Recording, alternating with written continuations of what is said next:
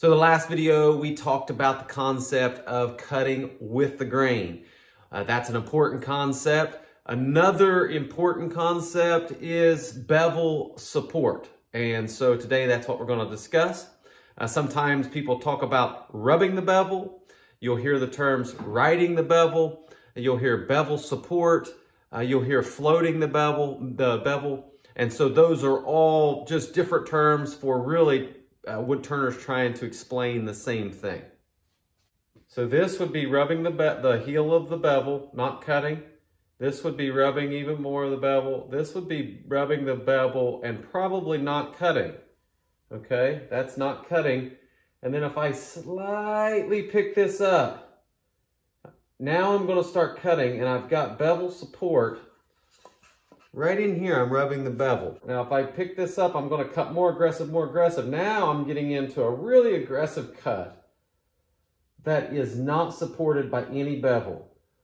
And if I come up like here, I'm really, I mean, that is, that what you can see what angle that's going to try to cut into the wood, and that's not going to give you a good cut. Now, if you come up to a certain point, right, now this, that cutting edge, is going to be scraping across the wood, which we will show that. There are tools uh, designed for that.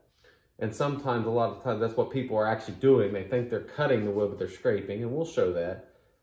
Now, you could turn this tool around instead of rubbing the bevel this way, we could go this way. So I'm rubbing the, the heel of the bevel down here, no cut, no cut, no cut. And now I'm flat, so I'm probably still not cutting, okay? Now if I pick this up slightly, now I'm gonna start cutting. If I don't rub the bevel, I just jam this in, it does remove material, okay? That's a an aggressive cut that removes material. Let's look at the, look at it. There it is, okay. So you can see, if you just jam it in, that's a scraping cut that's coming in. The bevel's not rubbing below, okay. Now if I turn around and do this by rubbing the bevel, come in here, I'm rubbing the bevel. Now I've got bevel support. And I'm coming through here. This is some really junky wood. But it's free.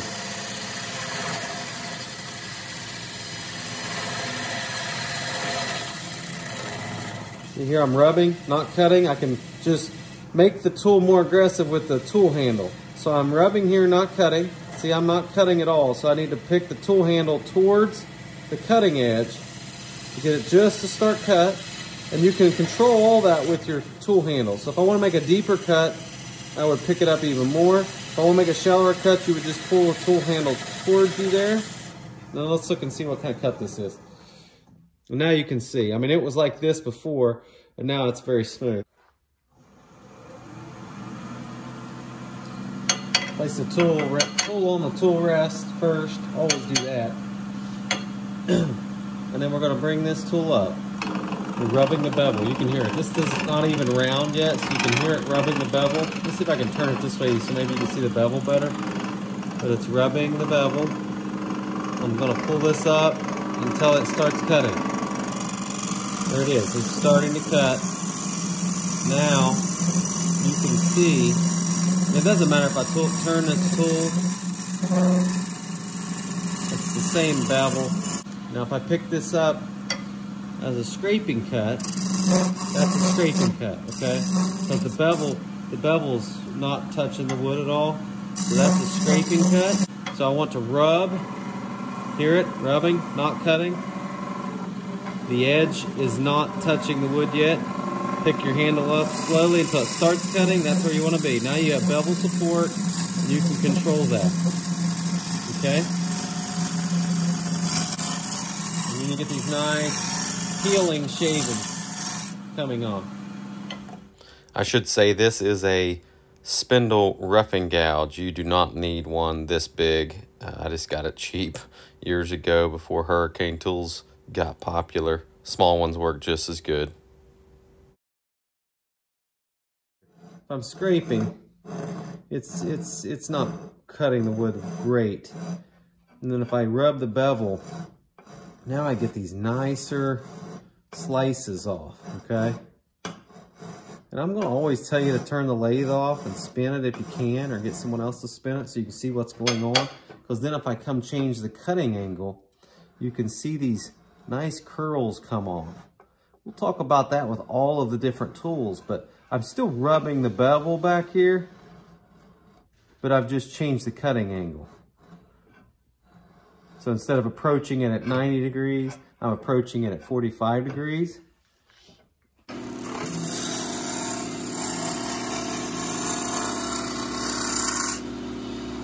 If I scrape, you can see what kind of shavings I get, and it's gonna dull your tool, okay? That's a scraping cut. That's what a lot of people do. If I'm not rubbing the bevel, that's a really aggressive cut. You see how that tears out?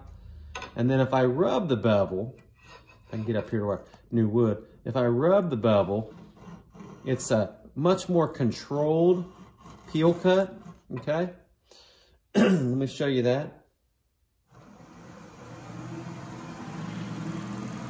I'm gonna come in here, tool on the tool rest.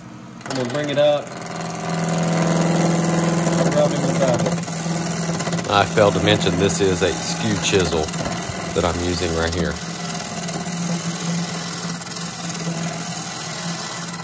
I'm rubbing the bevel here, nice little peel cuts here.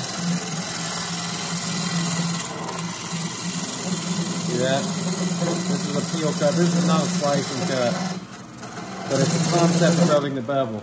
Handle here, not cutting, rubbing, rubbing, picking up my tool handle slightly. Now I can really bring that in.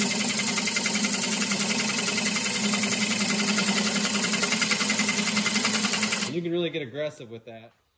So I'm gonna show show a parting tool here, and a parting tool. this is the bevel you're gonna ride, and as we come in, that the uh, this is going to get uh, less uh, less of a diameter. The diameter is going to get smaller and smaller and smaller. So you're going to chase that and keep riding the bevel all the way in to the center. So it's all it's going to be an in motion like this, but you're going to be chasing, uh, rubbing this on what you just cut. Okay. So I'm rubbing the bevel, and I'm still chasing that all the way down. See that? All the way down. Rubbing all the way down. So right there, see how I'm just rubbing the bevel? Rubbing, not cutting. We'll pick the handle up just slightly and it starts cutting. All the way in. Okay, right like that. Now here's a different parting tool. Beading parting tool. I use it just for parting. It's wider. Same thing. There's the bevel, not cutting. I'm rubbing, not cutting. Pick it up until it starts cutting, and then I'm going to chase that all the way in. All the way in, see? See right there? I'm still rubbing right there. So I'm chasing that bevel all the way in. Here's a different parting tool. This one, you don't have to have this bevel here, but I just did it so it's easier to sharpen. But I'm up here, just pressing against the tool rest. And there you go. Grabbing the bevel, you can see right on the bevel. And I'm just gonna chase that in. Okay? Just like that. 40-40 grind bowl gouge. And I'm gonna show you how, I'm gonna show you how you can use the wing here if you want. But we can come in with this and there's no bevel right here to, to rub yet until you get this established. Now I've got that little lip right there I can rub. And I'm going to take that. Now look, I'm rubbing right behind. Right behind. You can see that right there where my finger is. I'm rubbing. And I can chase that all the way in. There I'm cutting in grain rubbing the bevel. Okay, just like that. Now I can take this wing. I can take this wing and rub it this way because it's a side grain. So you can make a tenon like that if you want with a 40-40 grind. I mean, that really comes in. Like that. Okay, let's try to show this. So if we have our, our bowl blank, let's just say it's like this, okay? And let's say we want to come in here and make this shape. Probably an ugly shape, but just wanted to show the point here. So we're gonna take our tool, our gouge, and our bevel, we're gonna start right here and ride the bevel right there and then cut in and have support. And then we're gonna chase that. So our bevel is going to be following this contour. So you're always gonna have to be turning the tool handle to get that bevel support. So it's gonna be supported on what you just cut. So as you cut this, that the back of the tool, I can show that, is gonna be riding on what you just previously cut. And so you're constantly gonna have to be adjusting that tool handle accordingly to get bevel support the whole way, okay? So if I take this tool, I'm gonna come in here, I'm gonna be rubbing the bevel flat on that surface. Remember, this black line is the existing wood and the dotted line is what we're gonna make the shape into. So we're gonna be removing all of this wood here. So I'm gonna be riding the bevel. I'm gonna lift the handle up slightly so that the cutting edge starts. And then I'm gonna have to see, if I wanna make that shape, I'm really gonna have to turn that handle to get that bevel in parallel with where I wanna cut. And then I'm coming through here, I'm gonna have to lower the handle, follow this contour. Now right here, I'm gonna bring it back. I'm gonna have to bring that. See how I'm moving that? I'm gonna have to bring that where the bevel's parallel with where I wanna cut. I'm riding the bevel all the way through here. This is a normal bowl gouge with swept back wings. You can see the tip is riding the bevel and the side is peeling the excess. Doesn't matter if I take the gouge and open it, open it up a little bit or I close it. I'm still riding on that bevel. To show you, see I can, I can close it and it's still riding the bevel or I can open it.